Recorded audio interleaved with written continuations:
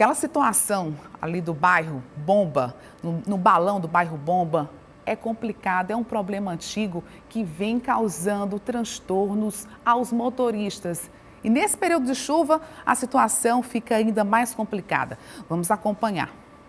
Em Picos, quem passa por esse trecho da BR-316, no bairro Bomba, precisa desviar de vários buracos. Péssima, é péssima. Aqui a situação é triste. A gente queria que o governo federal mandasse organizar isso aqui através do, do DENIT, né? Tá perigoso sim.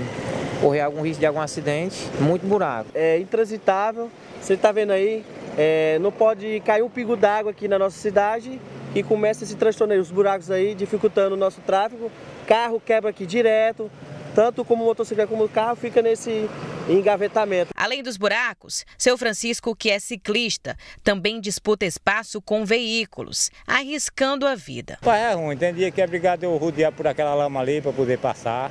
É ruim demais, é complicado. É obrigado a parar, os cabos passam tirando fino no cabo, perigoso. E o buraco é o pior, tem muito. Por causa de todo esse problema, alguns condutores até pegam a contramão para conseguir passar. Transitar na principal BR que corta picos tem sido uma missão difícil não só para quem possui veículo, como também para pedestres. A situação fica ainda pior no período chuvoso. Presenciamos um homem transitando a pé pela rodovia.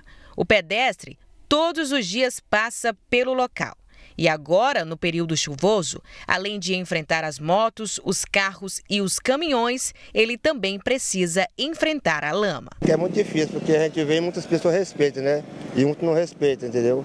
Aí a pessoa tem que parar para poder passar, muitos param e muitos não param, entendeu? A comida ser melhor ajeitada, entendeu? Para ficar bom. Esse buraco aí dá muito, dá, dá muito, causa muito acidente, entendeu?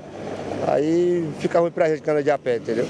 E olha, a gente é, recebeu agora há pouco uma nota emitida pelo DENIT sobre a situação dos buracos lá na Avenida Deputado Saltiga, na BR-316, matéria que a gente veiculou no início do nosso telejornal. O supervisor da unidade do Departamento Nacional de Infraestrutura de Transportes em Picos, o engenheiro Elvo Marton Lima, explicou que nos próximos dias serão realizados reparos nos pontos que apresentam desgaste da pavimentação. A gente vai ficar aguardando né, essa reestruturação lá da BR-316, uma via que está bastante complicada, né, a situação que se agravou agora com essas últimas chuvas.